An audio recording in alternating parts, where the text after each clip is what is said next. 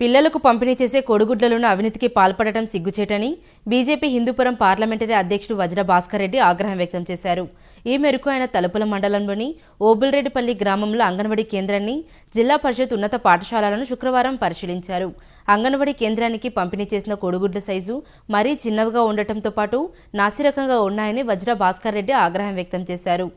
ఈ విషయంపై Anganwadi supervisor Alivelamma CDPO Shajida Begum MEO వెంకటరాముడుకు ఫిర్యాదు చేశారు. వెంటనే అధికారులు అక్కడికి చేరుకొని కోడిగుడ్లను పరిశీలించారు. బరువు తక్కువగా ఉన్న కోడిగుడ్లపై విచారణ చేపట్టి జిల్లా ఉన్నతాధికారులకు నివేదిస్తామని తెలిపారు. ఈ కార్యక్రమంలో బీజేపీ నాయకులు ఆదినారాయణ అశోక్ త్రిలోక్ శ్రీనివాస్ తదితరులు పాల్గొన్నారు. ఆఫీస్ అంగన్వాడీ సెంటర్ మరియు ఇక్కడ హై స్కూల్ రెండు ఎగ్స్ పరి వాళ్ళకి వెయిట్ సెట్ చేయడం జరిగింది. దాదాపు ఆరో తేదీ నేను ఇదే ఓబులిటిపల్లి పోయి వచ్చిన తర్వాత కూడా.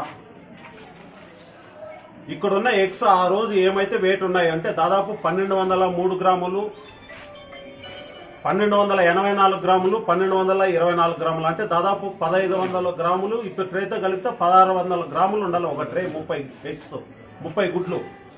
కానీ ఇక్కడ చూస్తే దాదాపు పన్నెండు వందలు పన్నెండు వందల యాభై గ్రాములు ఉన్నాయంటే మరి ఇక్కడ ఎంత అవినీతి జరుగుతా ఉంది ఇక్కడ ఉన్న కాంట్రాక్టర్లు కానీ లేదంటే ఇక్కడ ఉన్నటువంటి ఆలోచన విధానం ఏ విధంగా ఉందని సందర్భంగా తెలియజేస్తున్నా.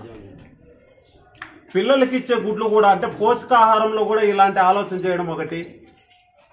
మరి అంగన్వాడీ సెంటర్లు అయితే ఇంకా దారుణం. ఆ చిక్కీలు అయితే ఆ చిక్కీలు క్వాలిటీ లేవు ఇవన్నీ అయితే చాలా ఇబ్బందిగా ఉన్నాయి.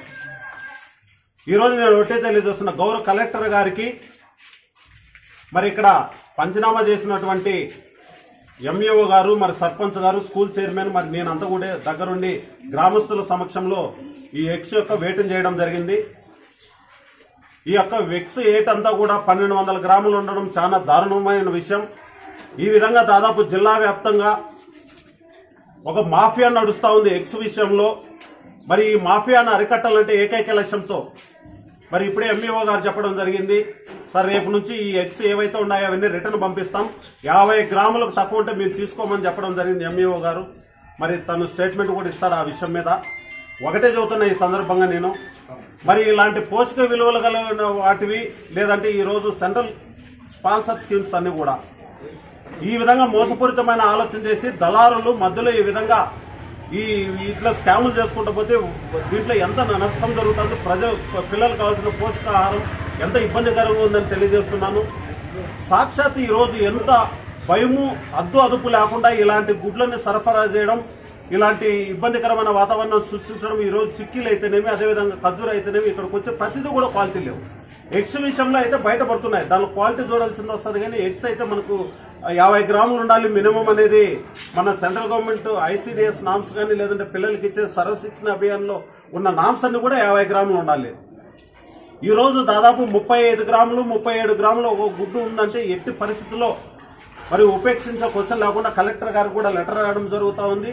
దీని మీద భారీ ఎత్తున జిల్లా అంతా కూడా ఈ యొక్క చెకింగ్ జరుగుతుంది. అదేవిధంగా దీనికి సంబంధించిన విషయంలో కఠినమైన చర్యలు తీసుకునే ఏజెన్సీ వాళ్ళని కూడా పూర్తిగా తొలగించాలని సందర్భంగా తెలియజేస్తున్నాం.